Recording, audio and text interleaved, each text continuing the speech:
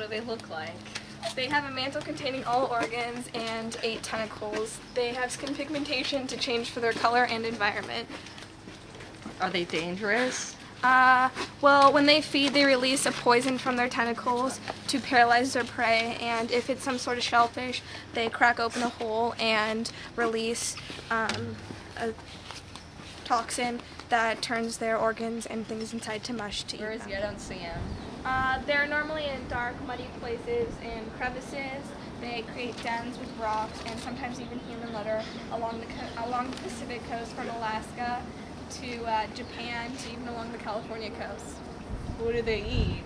Well, um, they're carnivores and they eat fish, sh- all kinds of shellfish, and even sometimes smaller octopuses of their kind.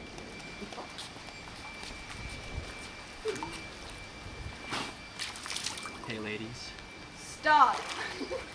one of the male reproduct or one of the male's tentacles is turned into a reproductive organ in which they perform external fertilization by him releasing spermatophores into the water into the um, female's mantle cavity in which she fertilizes almost about 200,000 eggs into larvae and they take two years to fully mature and their average lifespan is, about two to four years and um, the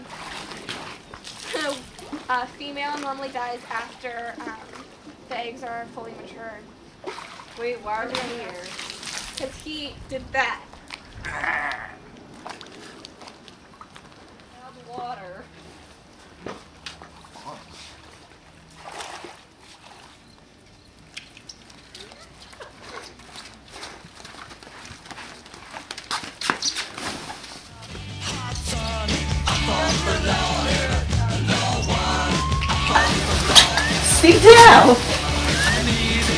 Get up.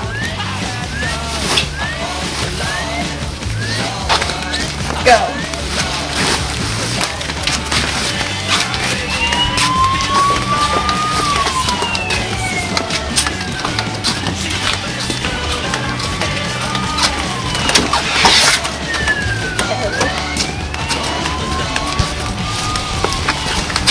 We're fun stuff, man.